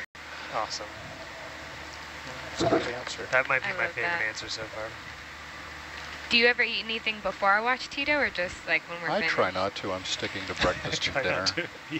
Yeah, same. We, I can we, taste the we, can, we all try to limit our food intake, and it's really mostly a failure. There's a lot of a lot of good food here at, at most times. I'm, I, I've been skipping lunch recently, but uh, always just kind of like, oh, what's that they have out? There's a, another vessel that uh, Tito and I have worked on, and where we were working, the way the prevailing winds were, if you went out to watch sunrise on the main deck, you just happened to be by the main exhaust for the galley. Oh, so man, we used to yeah. call them the bacon sunrise. so you got to watch the sun Makes come the- up makes and the smell stomach bacon. grumble a little yeah, bit more, yeah, yeah. get your appetite That's going. it, that's on the way to the van. You can always there's a vent right here. Yeah, and you can s- yeah. You're, you're coming on to watch. Like, oh man, I smelled dinner already. and last but not least, Ed. Uh, thanks. Uh, I'm Ed McNichol, I'm Video Operations Manager for OET. I'm sailing as second video engineer, sitting over here controlling the camera and the audio and the recorders and the satellite feeds and the blah, blah, blah, blah, blah. Blah blah blah blah blah. Uh, I have a couple favorite places on the, I have many. Um, one of them, strangely enough, is these control vans. Um, I worked with a team for about a year and a half to design and build these, and we're very proud of this project and how we kind of nailed it on the design criteria. So I do enjoy how well this space works for people and some of the innovations we put in, like the telestrator. Um, I also enjoy my stateroom. Uh, I'm out here usually 160 to 180 days a year. So I kind of make that into my place of refuge. Uh, I have carpets in there, and I try and cover up anything that looks like the rest of the boat. So it's full of tapestries and color. Uh, and uh, I have uh, a pillowcase that my wife made me for going out to sea that's full of tropical fish and crabs and stuff. So it just feels different from the rest of the boat. But I also really appreciate anytime I'm even just moving around or walking uh, out of the house, the interior part of the boat, just because you can't help but be touched by where we are and uh, the beauty of the place. And sometimes it stops you in your tracks, especially when we come out of here and the sun's coming up. Uh, it's just wherever you happen to be standing and Yeah, it's, it's one of the moment to appreciate. One of the nice things about this watch is that we, whenever we're off watch, it's either sunrise or sunset. It's cool. Yeah. It's like it. Uh, it's always something great to look at on the horizon. I do like this watch. And, and yeah, Ed, I'll, I'll second you on the control van. Like it's uh, it, it's re you guys did a really nice job. It's it's uh, actually comfortable to be up here. The old ones were like just squeezed in like a tin can. Like I can actually lean back in my chair and not hit my head. Yeah, I, I remember that as well. been a few sets of control tiny. and Yeah, these are awesome. Yeah, this is It- it's, it's so and it's so difficult functional. Yeah. to come up, but we had a nice process and worked closely with a lot of partners. Yeah. And got to work with some, uh, uh, Jim Newman, who I really enjoy working Oh, that's great. I'm glad he was involved. Yeah. I sailed with him um, many times early in my sailing career. Stay very close contact with Jim. As Yeah, that's good to hear. had Dinner with him in March when we were Rhode Island. He uh, one time when we were uh, loading stuff on uh, the Rhode Island uh, ship Endeavor, um, he took a boat over from his house in Woods Hole. Uh, Felicity. like- I'm not sure, Yeah. but uh, he, he sh- he showed up and like was waving at everybody, and we're like, "What are you doing?" He's like, "It's faster and way more. Well, it's at least more direct to come by boat Yeah. than by Yeah. bridge." Um, Felicity, which is a Tajmu, I believe. Yeah, I think so. Yeah, it's cool. He's like, okay, I just came to say hi. And then he- and then he left. He's like, okay, that's great. I love uh, how some people name their vessels. I did some work with Walter Cronkite's son. Walter Cronkite was the anchorman for the CBS Evening News. I believe he had a 40-foot yawl, did he not? Uh, I don't remember, but towards the end of his career, as they started to hand it off to his replacement named Dan Rather, it was a CBS Evening News with Walter Cronkite. That was the name of the program. And they called him the most trusted man in America. And it would start, and there instead would be Dan Rather, and Dan would say, I'm sitting in for Walter, who's on assignment tonight. And in talking to Walter's son, he mentioned that his dad's boat was named Assignment. that is I thought that brilliant. was clever. He's on assignment. He's not lying. Yeah, I thought he was like, you know, So in funny. the jungles of Africa, but Yeah. no, he's having a gin and tonic That's on great. the Chesapeake Bay. Is this a bamboo coral? It is. It's very primnoid-like, but it's a bamboo coral. Yeah, I see it in my still camera. I see the little Also, bands. super hard to focus on. Go for zoom if you like. That's funny. Those of you that try to work out on the monkey deck, there's another vessel I go on that's almost twice the height of uh, this one. Uh, actually, Jake, we saw it when we were up in Canada, the uh, Canadian Coast Guard ship Tully. And I sailed once, and there was a cadet on there who used to go up on their monkey deck, which is way up there, and hula hoop. Hula hoop? Yeah, for a workout. And it, just standing up there was a workout, but trying I'll to do that at the same time. she had a Just standing up collapsible hula hoop. Oh my gosh. I've seen those before. My roommate, my freshman year of college, had one, Yeah, and it, I wouldn't see it, and then it would come out, and I'd be like, "Where'd this come from?" Yeah, it, it was, I mean, she would be up there for a while. It was, uh, I think, a, pr- probably a pretty good core workout. If we had hula hoops, I think. if we had hula hoops, I think Malia would have fallen overboard. You know they have ones with lights now? With like lights? It's very cool Oh. lights. Oh, yeah. It's for the rave crowd. Yeah. It's funny too, Oh. the, um, the technology and the tools that we use for like designing these vans. We used to do physical mock-ups to do line of sight surveys to know what you could see and what you couldn't merchant. Um, but now we use, uh, you know, software programs to do the, we just put in the AutoCAD drawing and it can show us all of that. Yeah.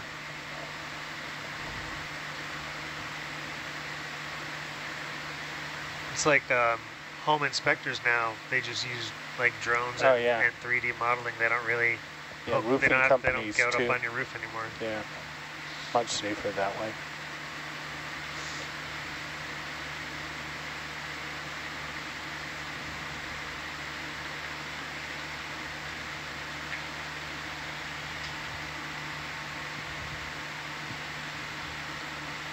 Bridge nav.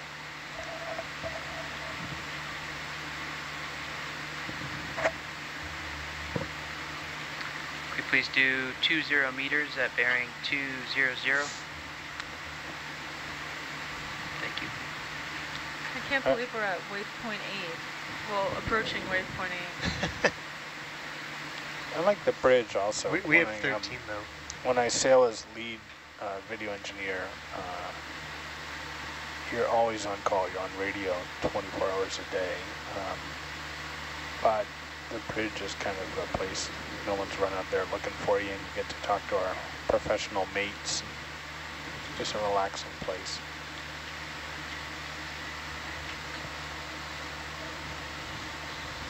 Whoa.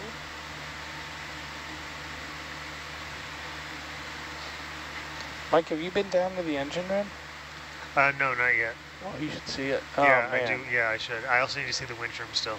Um, oh, yeah. If uh, if nothing else on the, if you go on the bridge, on the starboard side of the bridge, they have a monitor. They have like eight uh, CCTV cameras down there. Oh, yeah, yeah. Um, when you go into the engine room and you go down the two decks to where the uh, uh, Thor was, the previous engine, Yeah. you could easily park a Mini Cooper down there now. That's the most spacious room on the ship. Yeah. And it, it, you could reach the top of the engine, I think, with your hand. You, you don't need ladders or any of that. It's much, much, much, much smaller. That's good.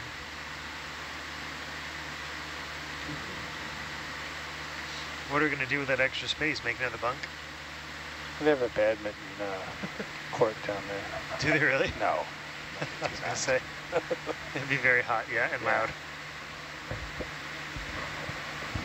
Though honestly, I, I can sleep in most places. Maybe not consistently. Do you like that your room is cold, or would you No. prefer it? Oh. I mean, like I like sleeping when it's cold, like under the covers and stuff. But this is this is uh, a little too Is that far. up forward? Yeah. Yeah, we just did some work up there. Some of the venting was not properly attached, so I think you can actually adjust that somehow now. Wow, if you could find out how, that would be great. Uh, ask um, Diego. I think he was driving that program, our ETO. Oh.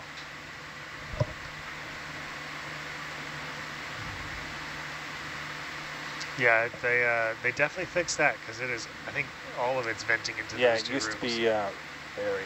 No, is that another urchin? No, I can't tell. I don't think so. Uh, it was quite warm up there. Ah.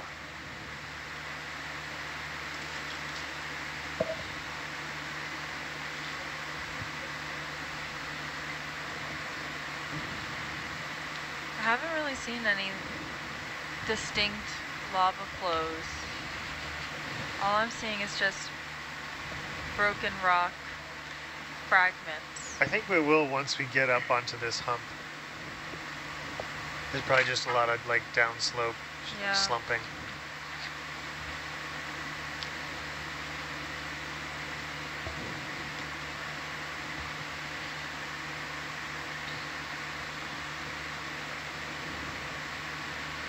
I love when we look, when we view it from so far away. Huh? I love like when we're so far away from the, the gr well, the, Oh, so you can see more? yes. Yeah. And you get a Yeah, I like reference size for I like to everything. go up and down to give perspective. And, Yeah. Yes. And, and then go close to see the you know the biology that you wouldn't normally see. and Mhm. sort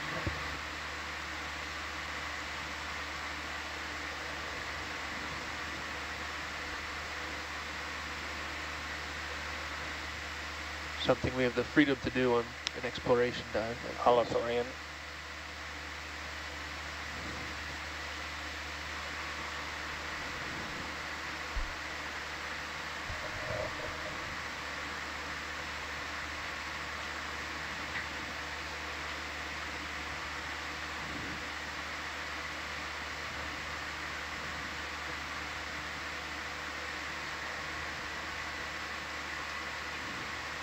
Bridge nav.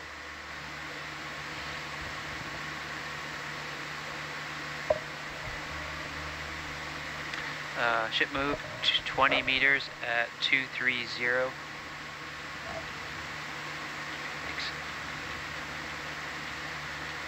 Does this look like a flow coming up, Hannah?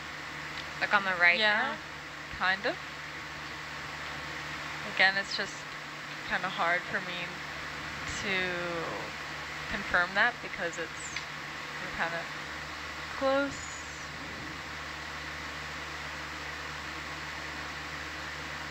Almost looks like a brick.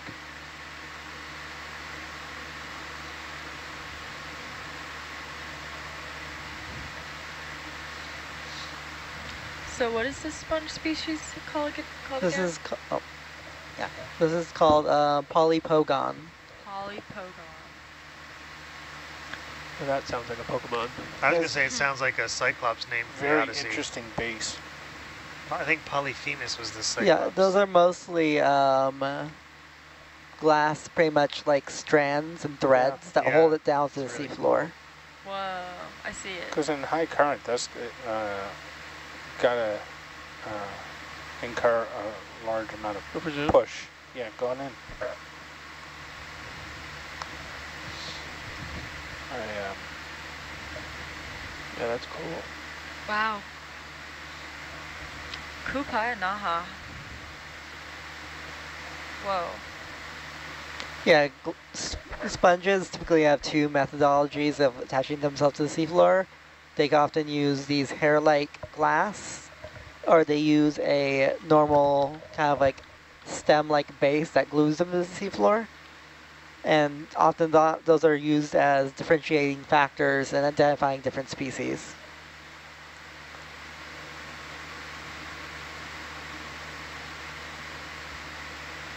did sound like a Pokemon name too. I do appreciate that whoever names Pokemons puts uh, Latin root clues in there. Because for some reason kids always like to say, do you know what type of Pokemon a blah blah blah Charizard is? Well, Char sounds like charred.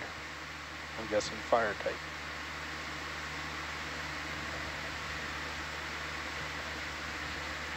I feel like this is a lobate flow.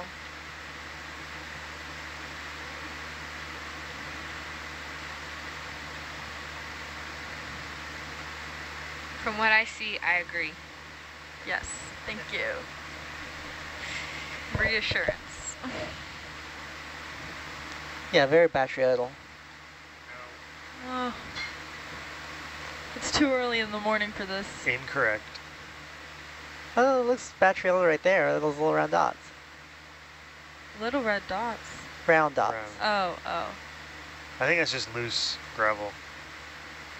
yes.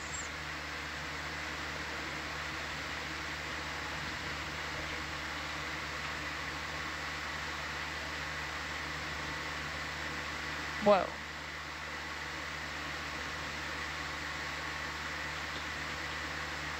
Is that a really tall glass sponge? Um, they would be.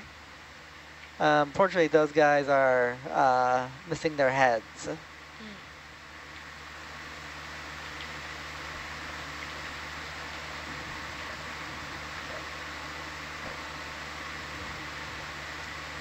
this is probably about our 11th dive of this expedition.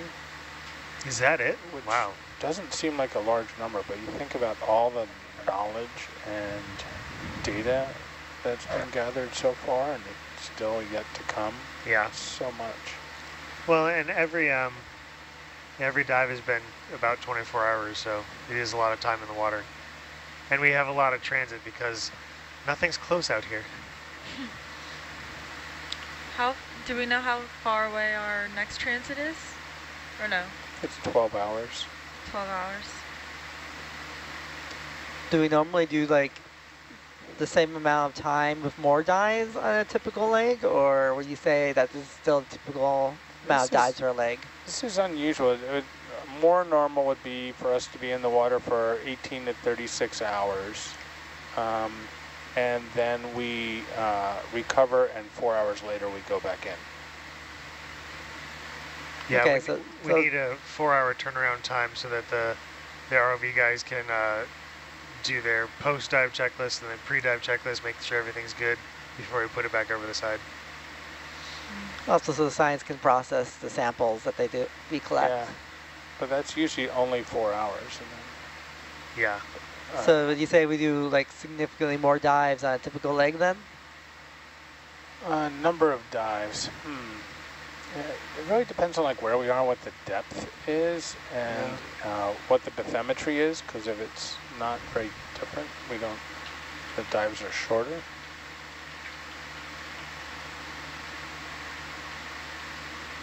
And what the mission is. Um, What is that brittle star doing? I know. It It's looks doing like yoga. Yoga, Uh, yeah. Yeah. I've been on several legs where it's shallower dives and Oh, yeah. shorter dives, so it's like eight hours or so, and then four hours turnaround, jump to the next site, eight hours, eight hours in the water, then four hours on deck, and then if you get into that rhythm, you can end up not being in the van because it's it li- aligns perfectly with your watch, and you're you're the pit crew changing mm-hmm. out the vehicles. Mm-hmm. Yeah. Wow. Bridge nav. Bridge nav. I did a leg on another vessel once. Now we were working in inland waters, so a thousand meters or much, much, much, much less, like 140 meters. And we did, I think it was 43 dives in a week. Ooh. Oh my God. And God. we only worked daytime hours. We didn't work at night. Jeez. That sounds so intense. But some of those dives where you would like just take something to the seafloor, put it down, and then come back. Yeah. Obviously, you weren't doing the four-hour turnaround. Uh, no, we would we would pre-dive the ROV in the morning. and then Yeah, that makes sense. Go, go, go, go, go. Yeah. Well, there's also ROVs that, uh, you, you know, I, I worked with one off uh, off a different vessel a couple of years ago that, you know, they have one of those uh, TMUs. Is it TMU? TMS. TMS. Um, you know, and they just they'll just bring it up, put something new, you know, and drop it back in. They, you know, Yeah. they, they're not- they're not doing this. The um, it's not as much of a process the launch and recovery as what we do. It's not a two vehicle system, so it's uh it's just much more consolidated. and they just they just lower is it all. just uh, using that tether management system or sometimes a cage. Right. So there, there's still something to decouple the ROV from But- the motion of the vessel. Yeah, the but they're not launching two vehicles from No, the deck. I no, mean. it's one thing going over the side. So pilots right now, we're just tracking a line at 180 degrees. That's directly towards waypoint 8. Okay. And some solutions are just pure single body systems. So uh, they use a catenary in the 6-8 line through the application of floats when they launch to uh, make sure they don't get yanked around from the boat. And that gives them a lift through hull capability as well. Uh, uh, Canadian RV ROPOS does that. Um, the uh, Woods Hole Oceanographic Institution ROV Jason that Tito works as an expedition leader for is unique in that it can be configured in either two-body or single-body mode, uh, depending on the mission constraints. I think that that's a not like just flip a switch. I think they usually go to sea the whole time, one uh, mode. Different cranes, Yeah. LARS, um, pretty significant difference. Yeah. And the LARS is the launch and recovery system that they use to. Just you guys still have that blue crane, or is that gone? Uh, we have two blue cranes. We've got the uh, NPC, or North Pacific Crane, and then we also have EFFER, uh, which is an Italian crane for two-body systems. Oh. But it's also two different cables. We use uh, 842 cable for single body for heavy lifts, and we use uh, 68 for two body, just like Can we actually get a zoom on this bush with this, this star? Like the red one? Yes, please. Is that a sponge? Um, the red? Yeah. No, that's definitely a coral. Oh, I thought you said zoom on the sponge. I know, I heard sponge too. Did I say sponge? Yeah. you did. Oh, my bad. It's still morning. Yeah, yeah, no, you're good. I just, just confirming. Oh, and zoom? nope. Partial. Let me go Dark red, I'm trying to see how I get Chrysogorgia. focus on this. Or, yeah, orange. Looks like there's a little Holy smokes. jelly on there or something. Yeah, what is that? Egg case? It might be an egg case. Oh, uh, Maybe it's a Saka hermit. says this is a Rondragorgia. Ron, Rondan iridogorgia. Rhodaniridogorgia. There's a whole organism. And Pretty. coming out. Thanks, Jake. Charlie Brown Christmas tree. yeah.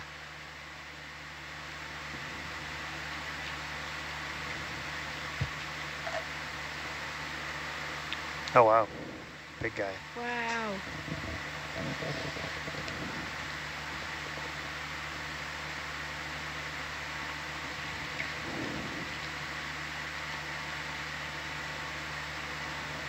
Like a moose antler. it does. The rock has an antler. That one's a slipper on the right. Hotel slipper. It wouldn't exactly be a comfy slipper. No. It should be uh, tie-dye croc instead. So Tito, is that, uh, does all of that fit into like a one or two containers? Uh, no. No. Oh, man. Oh, no. Yeah, I, I think we can squeeze the whole thing into single-body um, starboard there's sea. Seven, uh, you know, Seven? 50-foot trucks. Wow. We have uh, five vans, two control vans, uh, one tool van, which is our workshop. We have a rigging van, which contains most of our spares. And then we have another one that carries Jason and Medea. But we have um, one truck dedicated for just the winch, another for the peripherals of the winch, another for the winch van, uh, and then the crane itself goes on its own truck with the uh, hydraulic power unit. So I think it's a total of seven trucks these days. All I can think of is Autobots roll out. Yeah. And uh, there's a it's, it's insane how much work a, a, a single body mold is. We do there's a ROV days. workshops, but that's a different arrangement. So Jason works on vessels of convenience. It's not attached to a single vessel. Doesn't sound very convenient. There, Um, there's times when we'll mold onto five, well, do five separate mobs. We may be getting back and forth on the same ship, but. And Can we there's get a zoom on that little white day on one object sticking out from the bottom of the overhang right there? To the right. Yeah, but she just circled. It's almost like a moving carnival. Uh, Well, we've been called the deep sea carnies.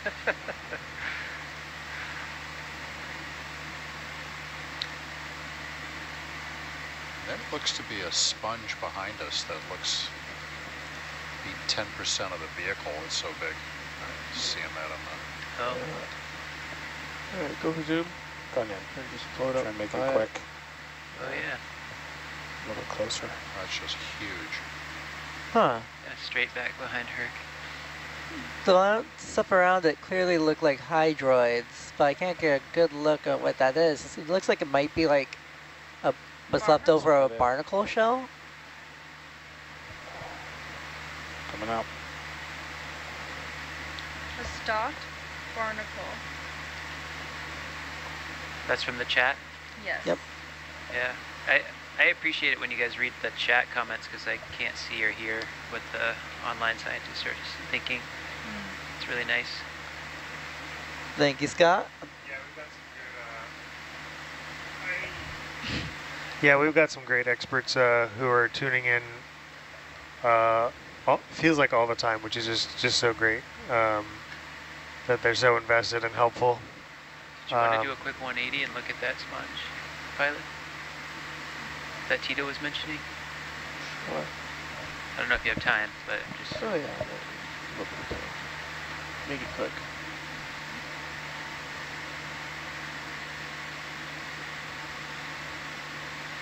Oh wow. Whoa. Wow. Kupaianaha. So is this all the same species we think? These, these Yeah, it looks all like polypogon to me. Quick, quick zoom. Going in. And then go skedaddle.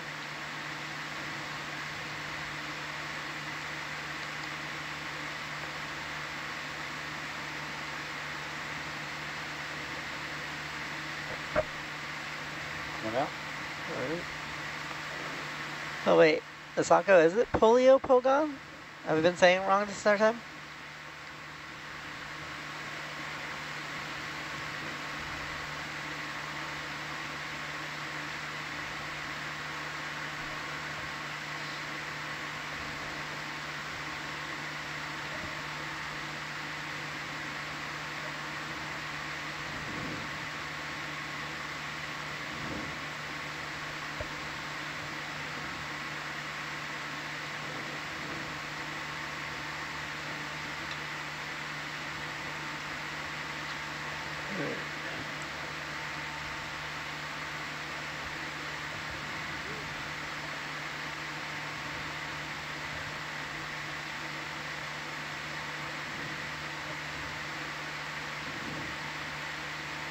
The nav screen isn't refreshing. Thanks. Yep. Seems to do that about this point in the dive. It always throws me for a loop. Oh, it is poliopogon. Okay. Thank you, Asako.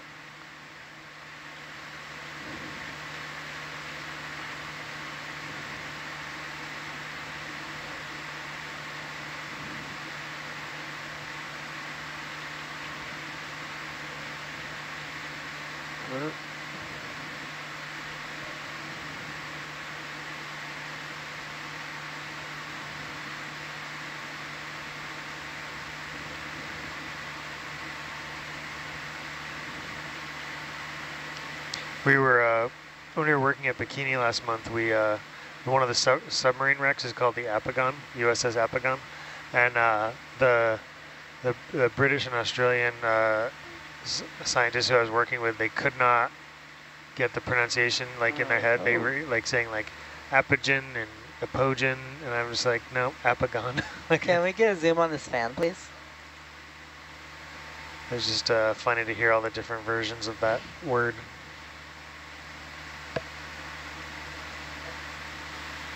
The pulley ap opogon made me think of that.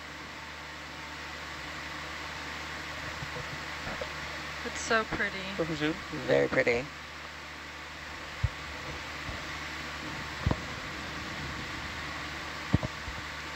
Shrimp. Those- Oh, there's a bunch it of shrimp bamboo, around it. Yeah. Pink bamboo They're fan. so tiny.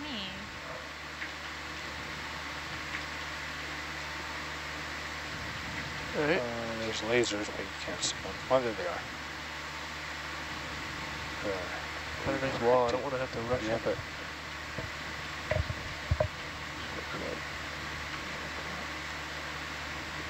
Gotta catch up.